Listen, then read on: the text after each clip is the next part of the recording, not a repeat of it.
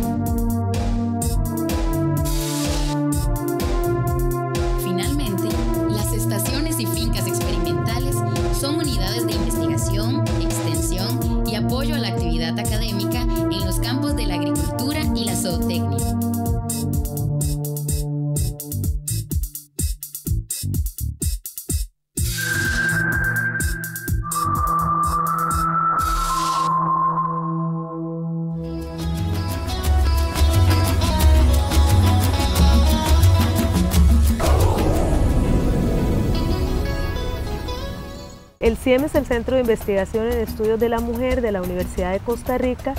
que es un centro feminista que articula docencia, investigación y acción social con respecto al trabajo hacia los derechos humanos de las mujeres. El objetivo general del CIEM es fortalecer el conocimiento sobre los derechos humanos de las mujeres y la equidad entre los géneros y conocer a fondo la situación y condición de las mujeres en Costa Rica y particularmente en la Universidad de Costa Rica.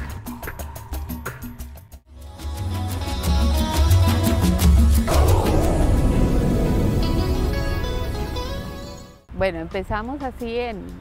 un lugar chiquitirrisco, con muy poquita gente. Todavía tenemos poca gente, pero eh, lo que teníamos eh, en claro era qué es lo que queríamos. Y lo que queremos para el país, para el mundo, es que haya igualdad de oportunidades y buenas relaciones entre hombres y mujeres que no sean relaciones de discriminación y sobre todo que no sean relaciones ya violentas. Entonces, muchas mujeres de esta universidad, con la experiencia que tuvimos en el Congreso Internacional de la Mujer, que tuvimos contacto aquí en la Universidad de Costa Rica con 2.000 investigadoras de todo el mundo, establecimos toda una serie de relaciones que nos permitió avanzar muy rápidamente. No teníamos los recursos, recuerdo que había eh, una secretaria, un asistente y me parece que había como un cuarto de tiempo. Pero eso no era lo fundamental, porque en realidad queríamos dar nuestro espacio, nuestro tiempo para esta propuesta que es una propuesta de desarrollo social, de, de desarrollo nacional.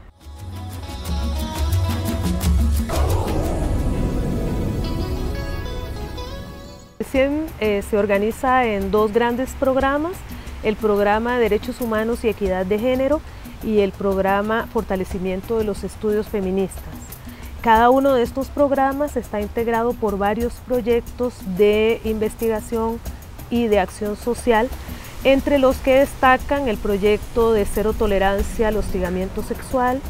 eh, el proyecto eh, de Centro de Documentación y Biblioteca Virtual, el proyecto de prevención de la violencia contra las mujeres en Talamanca,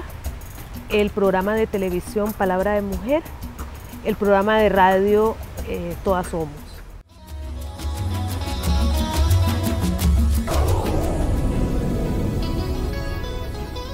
Bueno, el proyecto de cero tolerancia al hostigamiento sexual tiene dos vertientes, una de acción social y una de investigación. En la vertiente de acción social nosotras trabajamos a su vez en dos eh, aspectos. Uno es la prevención del hostigamiento sexual. O sea, la Universidad de Costa Rica tiene políticas de no tolerar el hostigamiento sexual y en ese sentido lo que nosotros hacemos es ofrecer información básicamente sobre hostigamiento sexual, este, con charlas, con talleres dirigidos a estudiantes, dirigidos a personal administrativo de la U. En coordinación con el Departamento de Docencia Universitaria tenemos un curso para docentes en línea para que conozcan qué es el hostigamiento sexual, cómo se manifiesta, además cuál es el reglamento de la universidad y cómo se aplica. Eh, estamos pensando para fines de este año contar con materiales que nos permitan iniciar una campaña de difusión a toda la comunidad universitaria para promover la denuncia de las situaciones de hostigamiento sexual.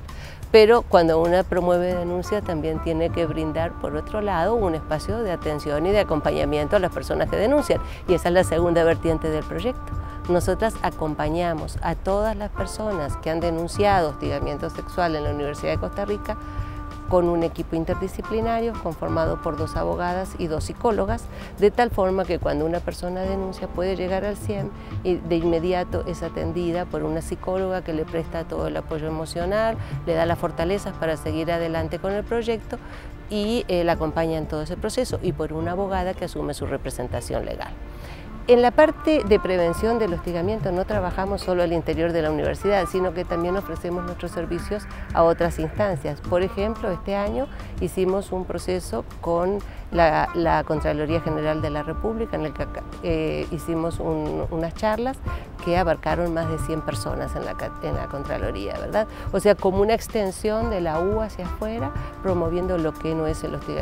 cómo se debe enfrentar el hostigamiento sexual y también hemos trabajado mucho en incidencia de leyes. Por ejemplo, este año se aprobó una reforma a la ley contra el hostigamiento sexual en el empleo y la docencia y nosotros trabajamos tanto en la redacción del proyecto de reforma como en reuniones con legisladores y legisladoras, con asesores y asesoras para promover que se aprobara ese proyecto. En cuanto a la parte de investigación, hemos presentado un proyecto para el año próximo para eh, conocer cuál es la realidad del hostigamiento sexual y de la violencia contra las mujeres en la Universidad de Costa Rica, porque estamos ampliando este proyecto también a considerar las problemáticas de la violencia contra las mujeres y la discriminación contra las personas que estudian o trabajan en la U por razones de género, es decir, por ser mujeres o por orientación sexual. En el caso de las personas externas a la U, lo que nosotros esperamos es brindarles una comprensión de la problemática del hostigamiento sexual, o, este, asesorarlas en cómo se aplica la ley contra el hostigamiento sexual en el empleo y la docencia. Y por cierto, estamos pensando para el año próximo, eh, si es posible con la plataforma de la U, ofrecer un curso en línea abierto a toda la comunidad nacional para que cualquier persona se pueda interesar en la problemática.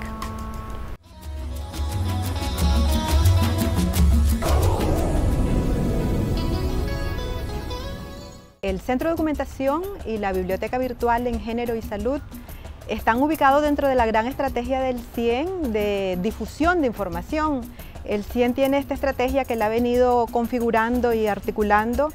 Eh, pretende generar, este, una de las estrategias de difusión pretenden generar opinión y sensibilización alrededor de diferentes temas que afectan la condición y la situación de las mujeres. Y en esto tiene que ver, por ejemplo, el foro de las mujeres. En cambio, el Centro de Documentación y la Biblioteca Virtual se ubican en la estrategia que pretende generar eh, información relacionada con la investigación para fortalecer los procesos de investigación en, toda la comunidad este, universitaria. El Centro de Documentación ya es un proyecto histórico del CIEN. En realidad nace junto con, con todo el proyecto de organización del CIEN. Y la biblioteca virtual se agrega en los últimos años y viene, digamos, como a fortalecer el proyecto, a hacerlo este, más actual, a lograr que llegue a más gente a través de la, de la, de la ubicación en línea de una cantidad de textos que tienen que ver con, el, con la situación de la mujer. En la actualidad tenemos nosotros en la biblioteca virtual alrededor de 2.000 documentos a texto completo cada vez es, mayor el número de, estudiantes, de chicos y chicas de profesores y profesoras que este, eh, buscan esta información y que conocen la dirección, ya no necesitan llegar físicamente a visitarnos, sino que sencillamente la, localizan desde, sus propios lugares. Ahora tenemos eh, muchos eh, chicos y chicas que son, digamos, de escuelas que tradicionalmente no hacían tareas con enfoque de género y que ahora están haciendo. Por ejemplo, la escuela de matemática, la escuela de física, la escuela de música son, son eh, nuevos grupos que se están acercando al conocimiento del, tema de género y que necesariamente nos identifican y nos buscan, ya sea a través de la biblioteca virtual, ya sea de consulta directamente físicamente en nuestras instalaciones.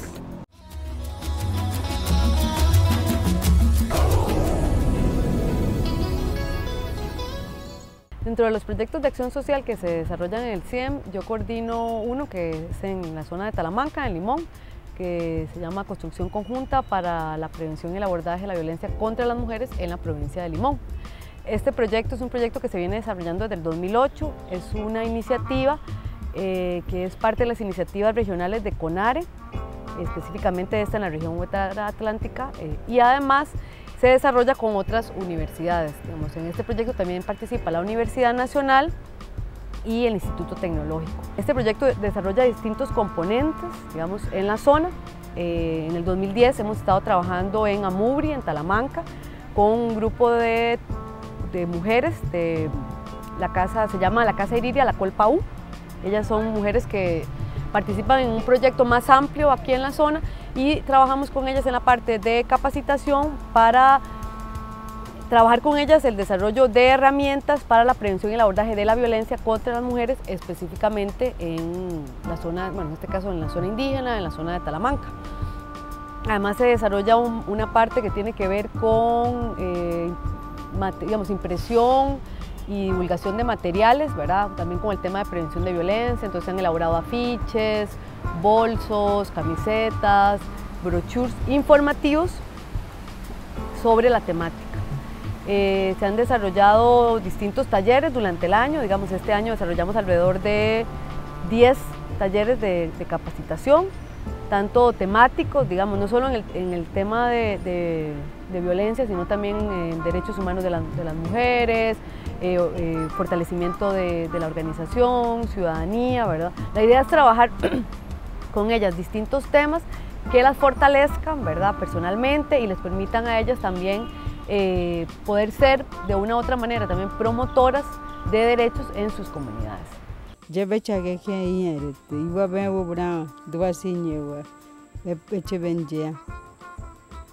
Bueno, mandiche idu así con je u brown er este ye para con sepa que se tepa que que será que tepa que que eu a biri biri. Ya ya ta je ki wanche je trane con je ki trane escuela beis. Hasta ahora que je te por lo menos que u brown biri biri. Je na ya na ima y me ye pa que un se we que tan sai que chancho. De y que je se wa se tre je ye pa curso a esta. Eko je otras compañeras pa je che también tú si yepa quiere antes yepa quiere y para que así yepa se biri biri tu visitero tu no puede eh bu brown yepa te wa biri cena ñana es jeche Dice la señora Shirleni que ella no pasó a la escuela, nunca tuvo la dicha de aprender a ir a en la escuela, pero con estas capacitaciones que ella ha venido aprendiendo este año, ha aprendido mucho y dice ella que ella puede defenderse y ya conoce más o menos la ley de dónde ir a acudir cuando eh, ella ha sido agredida. La importancia que yo pienso que tiene que la universidad desarrolle, digamos, proyectos de acción social en comunidades, para mí sobre todo tiene que ver con que son comunidades muy alejadas, bueno, en el caso de Talamanca, solo llegar hasta allá toma entre seis y siete horas, ¿verdad? O sea, es muy difícil que las personas de las comunidades puedan acceder a capacitaciones o a cursos, incluso a educación superior o a veces secundaria, por las distancias que tienen que recorrer. Entonces, el que la universidad vaya a las comunidades, pienso yo que permite eh, eh, el crecimiento de las comunidades, que, que, estas mujeres, digamos, tengan acceso a capacitación, eh, a información, a herramientas distintas, digamos, que pueden aprender para, digamos, el crecimiento personal, pero también que les pueda servir para su vida cotidiana, ¿no?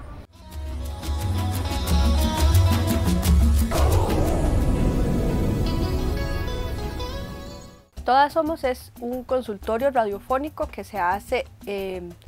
digamos, se hace en alianza entre la 870, que es la radio AM de la, de la Universidad de Costa Rica, y el Centro de Investigación en Estudios de la Mujer. Es un consultorio radiofónico, entonces eh, atendemos llamadas en, digamos, al aire y bueno, y lo que hacemos es traer especialistas en diferentes materias, legal, de derechos sexuales y reproductivos, eh, psicólogas que atienden casos de violencia, etcétera, que nos aclaran cómo se manejan, cómo se pueden defender, eh, digamos, de una manera pragmática los derechos de las mujeres. Y es una extensión mediática de otros programas que existen en el Centro de Investigación en Estudios de la Mujer que tienen que ver con eh, hacer este mismo servicio, pero en comunidades directamente. Nosotros lo hacemos por la radio y hay otro grupo que va por comunidades. Lo que intenta hacer Todas Somos es dar herramientas a las mujeres, eh, digamos, las mujeres que nos escuchan desde sus casas, desde sus sodas, desde sus ambientes laborales, ¿verdad? Eh, darles herramientas para, para tener cada vez más oportunidades laborales, de independencia económica, de independencia, eh, digamos, psicológica, o sea, que, cada vez sea menos probable que vayan a caer en situaciones de violencia gracias a las herramientas que nosotros les estamos dando desde el programa.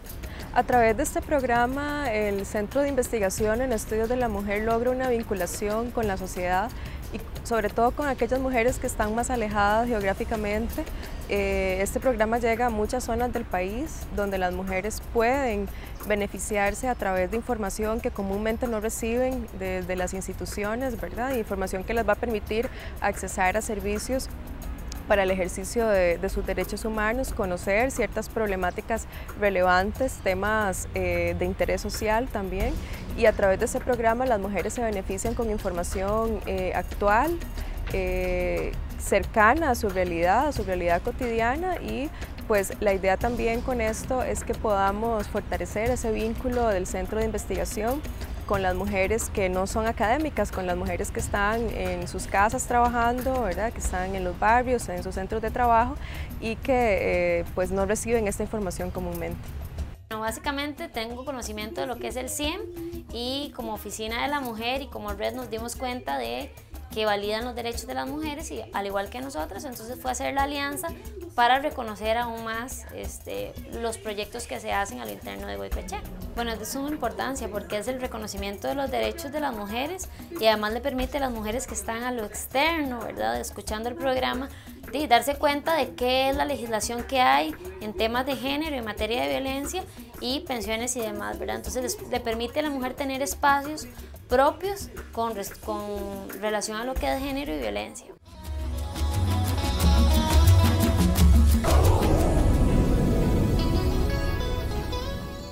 Palabra de Mujer es un espacio que lleva más de 10 años estar al aire. Es un programa eh, que surgió precisamente para valorar las palabras de las mujeres y mujeres en plural, porque es un espacio que ha abierto su corazón a mujeres académicas, a mujeres artistas, a mujeres rurales, a mujeres de zonas urbano marginales, a mujeres eh, que conforman toda esta diversidad. Y ahí tocamos temas que también tienen que ver con nuestra cotidianidad, las preguntas que todas nosotras nos hacemos eh, con respecto, por ejemplo, a nuestra salud, con respecto a nuestros derechos sexuales y derechos reproductivos, con respecto a temas que, que, que tocan la violencia que viven las mujeres en este sistema patriarcal. Es un espacio que abre su corazón a la diversidad, a las mujeres lesbianas que también encuentran su voz en palabra de mujer. Es un espacio que además reivindica los derechos de las humanas y también es un espacio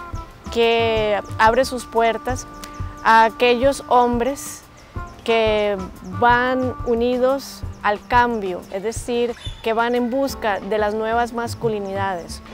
Es precisamente eh, esa apertura la que nos hace abrir ese corazón y encontrarnos con el CIEM, que es un centro de investigación en estudios de la mujer, donde las académicas eh, presentan eh, esos estudios y donde nosotras podemos como dar el espacio desde Palabra de Mujer para discutir esas investigaciones. Así que Palabra de Mujer es un espacio transgresor, siempre en la búsqueda, y vuelvo a repetir, de nuestros derechos como mujeres, como humanas que somos. Para resumir, Palabra de Mujer es un espacio con perspectiva de, género. Es decir, todo lo que yo he dicho anteriormente va hacia esa línea, a tener un programa con esa perspectiva y desde y con y para las mujeres. Eh, buscando ese cambio, con ese camino hacia el respeto de los derechos fundamentales de nosotras las mujeres. Podemos enumerar desde estos más de 10 años los 200 y pico más programas, los documentales que ha hecho Palabra de Mujer. Pero todo esto no se hubiera podido hacer si no hubiéramos tenido esa fuerza de mujeres, ese corazón de mujeres, esa voz de mujeres eh, dentro de un espacio que va desde nosotras, desde adentro para afuera, desde lo que somos nosotras como, mujeres, encontrando nuestro camino y nuestras voces propias, ¿verdad? Y esto es lo lindo de Palabra de Mujer, que no es un espacio del canal, ni de Ana Lucía, ni del CIEM en realidad, es de todas,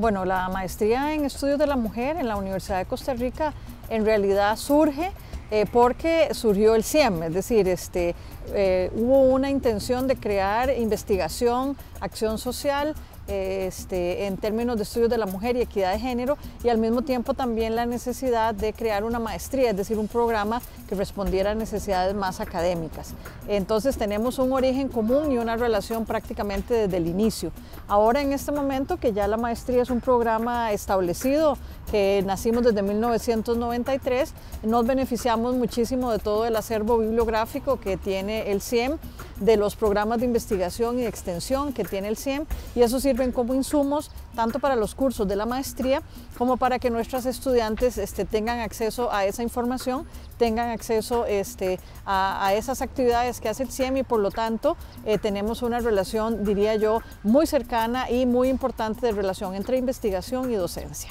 que ningún programa académico puede estar desligado, digamos, de las actividades de investigación y de las actividades de extensión. Entonces, desde esa perspectiva que el CIEM exista, le da también a la maestría la posibilidad de que nuestras estudiantes tengan esa relación con esos proyectos externos, eh, tengan una mayor participación en actividades de investigación y de extensión y por lo tanto entonces la maestría no se queda únicamente como un programa académico dentro de las cuatro paredes de la universidad, sino que se proyecta también a través de las actividades del CIEM.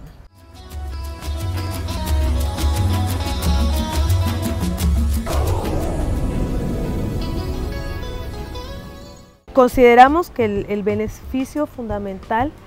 es eh, dar a conocer los derechos humanos eh, de las mujeres, la equidad de género y dar herramientas para que todas las personas, tanto dentro de la universidad como en el país, puedan ejercer eh, sus derechos de una manera eh, más respetuosa, justa, equitativa y que conozcan eh, en profundidad cuáles han sido las inequidades y cómo em, hacerles frente a estas inequidades. Por eso consideramos que el CIEM en la Universidad de Costa Rica tiene un papel fundamental de toma de conciencia acerca de los derechos humanos. En el CIEM tenemos muchísimos planes, eh, muchos proyectos que se están eh, gestando, que lo que pretendemos es ampliar las áreas de acción eh, con respecto al, trabajo que realizamos. Por ejemplo, hay un nuevo proyecto sobre género y economía.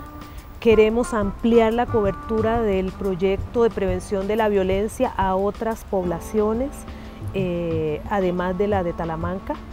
Queremos también em, fortalecer el conocimiento a ocho años después de la primera investigación en torno a la existencia del hostigamiento sexual en la Universidad de Costa Rica, qué ha pasado después de todo este periodo en que se han dado una serie de acciones y campañas para prevenir el hostigamiento sexual. También tenemos eh, en, ¿verdad? En, proyecto nuevas, eh, nuevos programas de palabra de mujer, nuevos eh, programas de Todas Somos, es decir, queremos seguir ampliando nuestra eh, radio de cobertura en esta tarea de toma de conciencia acerca de los derechos humanos.